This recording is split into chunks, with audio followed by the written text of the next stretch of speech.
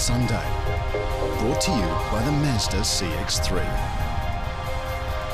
Tonight on Sunday, when it comes to our vulnerable children, the system is broken. How do we fix it? They're the thousand most studied people on the planet. The Dunedin researchers had finally discovered a mechanism underpinning violent behaviour. We've all seen the headlines Nia and Moko. James Whakaruru, the Kahui twins, just a few of New Zealand's abused children. So, what, if anything, does work in the existing system? Hmm. Can the epic Dunedin study save our kids? What do you say to those people who think this is just another example of social engineering nanny state? Get a bit of compassion. Also get to grips with the research. Abby was glorious and little and blonde, very happy. A mother looking for answers to her family's grief. I have been really determined to look after myself and do everything I possibly can to keep our family together. What can the loss of Abby teach us all? We've got two beautiful, incredible teenage boys. And I want to live.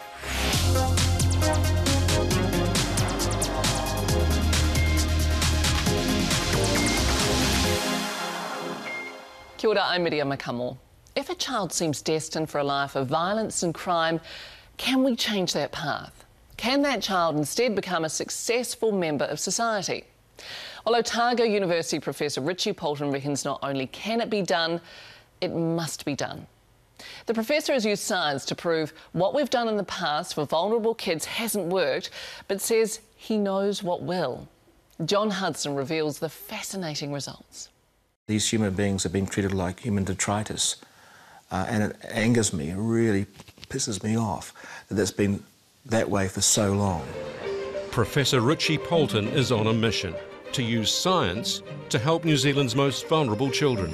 These are children who've been beaten black and blue from the time they were babies. And it'll make your ears bleed, some of it. New Zealand's record on abuse and neglect of children isn't good.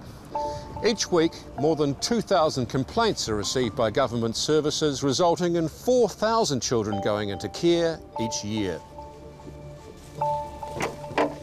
The average age of these children is eight, and they've already been in seven or eight homes. Not a good start, but the statistics get much worse. By 21, 90% of them are on the benefit. A quarter are on the benefit with a child, and a third have been before the courts. But imagine if you could invent a system that helped these children much earlier. The current system is not delivering effectively for vulnerable children and young people. Social Development Minister Anne Tolley says she's been talking to some of the children behind those statistics. Many is the time they had me in tears in my office. This is happening to us, they said. But no one ever asks what we want or what is best for us. They told me that above all else, they want a loving, safe, and stable home. So we're about to see the biggest shake-up in state social services in decades. A new ministry to replace CYFS. Professor Poulton was on the expert advisory panel behind the overhaul. CYFS is the whipping boy of society, isn't it? It's a hell of a job being, uh, being involved in, in dealing with these people who have come from very difficult circumstances. And right now, all the system's concerned about is making sure it doesn't end up on the front page of the Dom Post with another awful case of child abuse. We've all seen the headlines Nia and Moko. James Whakaruru, the Kahui twins, just a few of New Zealand's abused children. So, what, if anything, does work in the existing system? Hmm. I think my struggle giving you a clear response tells you an enormous amount, doesn't it? Seeing a lot of frustrated people, seeing caregivers who are well motivated but not skilled or supported appropriately, and seeing all this dysfunction come down on the heads and the souls of these kids who have not done anything wrong leaves me with a feeling of the system as it is, despite a lot of good people in it, uh, being pretty much broken. The new ministry doesn't yet have a name, let alone a budget, but early intervention is part of its brief, and it will be entirely accountable for children in its care. The new system's going to require a completely different culture. It's going to require coalface people that are keen on doing things differently. And of course, it's going to require politicians to remain committed to it. And the return will be in what? Fewer people ending up before the justice system? Fewer people in prison, more people in employment for longer periods, fewer people using mental health services, fewer people dropping out of school. It goes on. What do you say to those people who think this is just another example of social engineering, nanny state? Get a bit of compassion. Also get to grips with the research uh, that suggests that this is exactly what's required. Richie Poulton knows what the research says because he did much of it. He's the head of the Dunedin study, the longest running, most comprehensive investigation into human behaviour the world has ever seen. In 1972, a medical school from a small city in New Zealand embarked on the ultimate nature nurture test. They decided to take every child born in Dunedin over a year and follow them for life. For 44 years now, they've measured their development in every imaginable way their genes, their blood pressure, their private lives, successes, and failures. They've become the 1,000 most studied people in the world, and they told scientists that human behaviour, including violence, is a product of how our genes interact with the environment we live in. Violent people cost society huge amounts of money in treating victims, police time, and in the prison and justice systems. Scientists like Richie have known for 20 years that nature gives about 30% of people a gene that predisposes them to violent behaviour. However, most of these people aren't violent. But in 2002, the Dunedin study made an incredible breakthrough. It discovered it's the way some of these people are nurtured that makes them very violent. The Dunedin researchers had finally discovered a mechanism underpinning violent behaviour. It's as if nature loads a gun and nurture pulls the trigger. It was a classic case of no longer being nature versus nurture. It's nature via nurture. The Dunedin study proved child abuse often triggers a life of antisocial behaviour. Trigger is the abuse or the maltreatment or the neglect and the solution?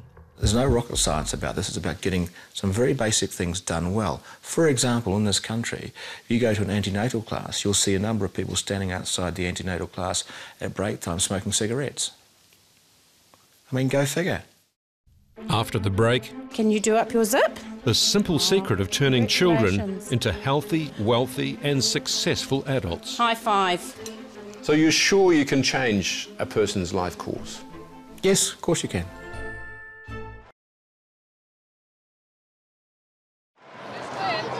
There are three things Richie Poulton is passionate about.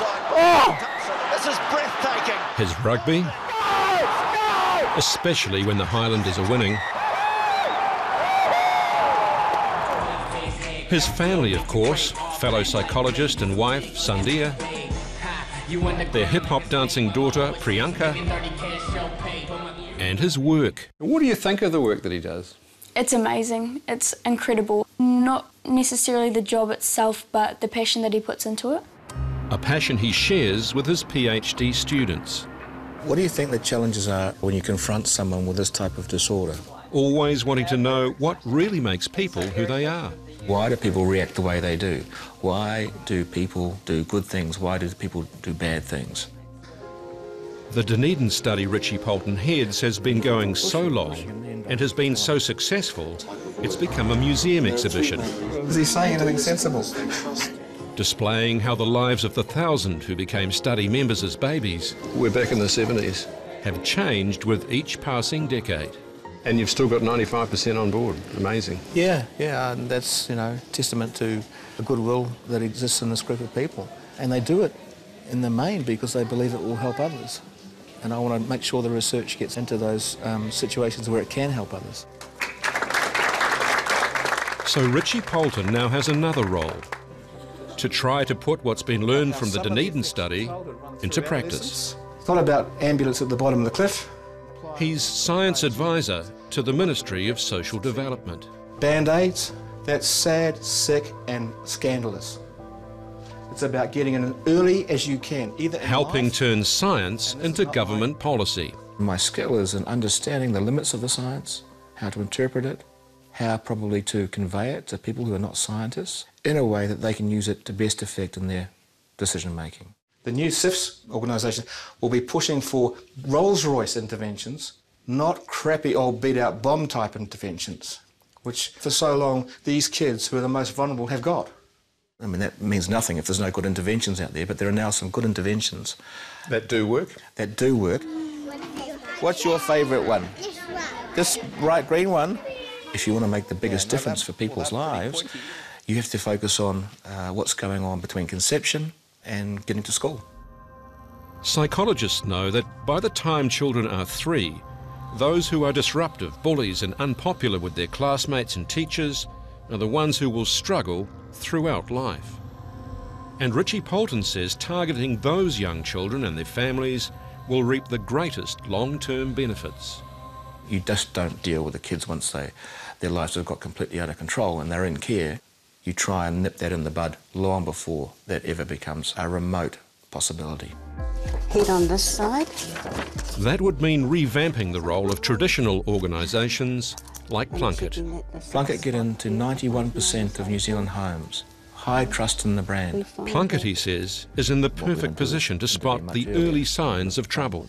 You have to get into the homes to see in the context of the family exactly what the risk profile looks like, to then know what sort of extra help or support, not being judgmental, being a parent's bloody hard, what extra support would make a difference for those children. Preschool education provides another opportunity to intervene early. Children that have problems with emotion regulation, for example, these are findings directly from the Dunedin study, uh, tend to have a whole bunch of negative outcomes down the track when they're adults. They end up in jail more often. They end up in poor physical health. They end up being poor financially and they end up behaving in a less than ideal way when they're parenting. Have you all got your jackets on? Because it's cold this morning. Can you do up your zip? The Dunedin study discovered the children who succeed most in life, It's really good trying. those who grow up to have better health, wealth and relationships, all display one crucial attribute as preschoolers. They're the ones who show the most self-control. High five. Self-control is really made up of two parts that relate to each other. One's the ability to keep your emotions in check, be it anger or excitement. Right, you try. And then once that's in check, then being able to focus on a task and complete it. And the good news is self-control can be taught.